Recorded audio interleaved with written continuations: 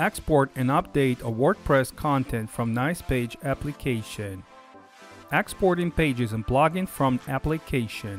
If you have changes in your Nicepage desktop projects, you can export and import the Nicepage pages and plugin to your existing WordPress website. Run the installed Nicepage application for Windows or Mac OS.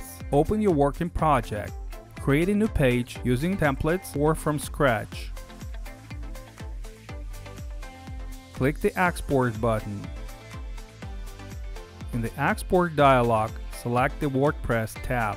Uncheck the theme box. Please make sure that you have the Pages and Editor plugin box checked. Click the Export button to export the zip file with the pages and plugin. Reinstalling the plugin.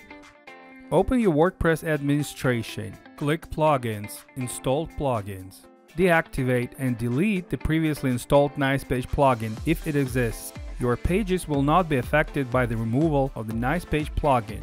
Click Add New to reinstall the plugin. Click the Upload plugin button.